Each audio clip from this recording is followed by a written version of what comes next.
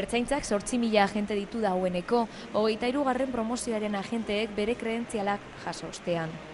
Eunta irurogeita amabi gizon eta berrogeita amare makume guztiek hogei eta hogeita amabost urte bitartekoak. Promozio honek ertzaintza gaztetzen du eta emakumeen kupurua igotzen duera berean. Etarekin amaitu dugu, orain Euskadin behingoz elkarbizitza demokratikoa esartzeko lan egin behar dugu. Eta zuek, gure ertzainak, gizarte honen funtsesko zati bat zarete, askatasuna eta berdintasuna lortzeko.